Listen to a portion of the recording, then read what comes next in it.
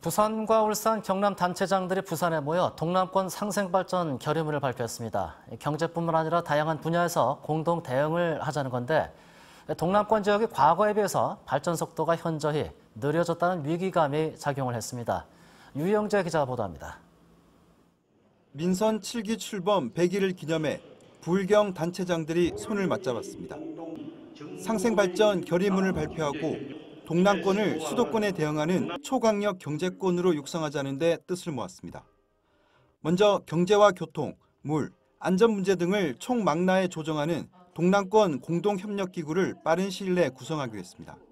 여러 가지 문제들을 개별 자치단체 간에 풀려고 하면은 창원 김에 한성 할인 문제 하나 푸는데도 지금 10년 넘게 걸린 거거든요. 이렇게 해서는 너무 더디기도 하고 어렵겠다는 겁니다. 그래서 동남권 관문공항에 걸맞는 신공항 건설을 위해 공동 대응하기로 했습니다.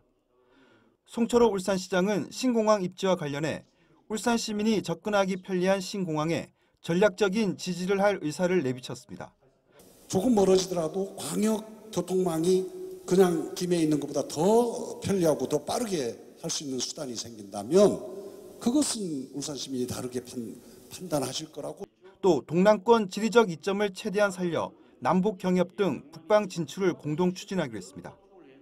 부산항이 부산의 항만이라고 저는 생각하지 않습니다. 어, 울산, 그 경남의 진해 지역이라든지 이런 지역의,과, 의 항만과의 어떤 그 연계적인 발전이 있어야지. 최근 지지도 조사에서 불경 단체장들은 공교롭게도 나란히 최하위를 기록했습니다. 여론 전문 조사 기관 리얼미터가 실시한 전국 17개 광역단체장 지지도 여론조사에서 모두 하위권으로 떨어져 지지도를 끌어올려야 하는 공통 과제를 안고 있습니다. 불경 시도지사들이 초강력 경제권 추진으로 현재 직면한 낮은 지지도와 보수 성향의 지역 정치 풍토를 돌파할 수 있을지 주목됩니다. MBC 뉴스 유영재입니다.